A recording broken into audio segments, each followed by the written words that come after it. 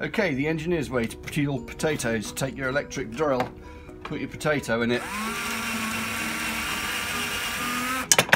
and boom.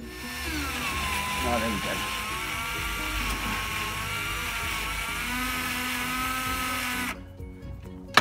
Boom. Where did that one go? the engineer's way to peel potatoes. Take an electric drill, get your potato, get a peeler,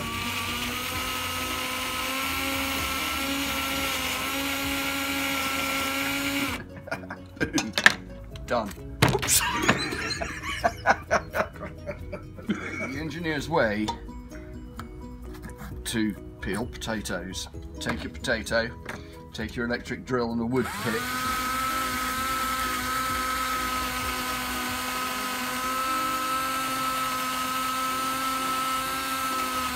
Boom.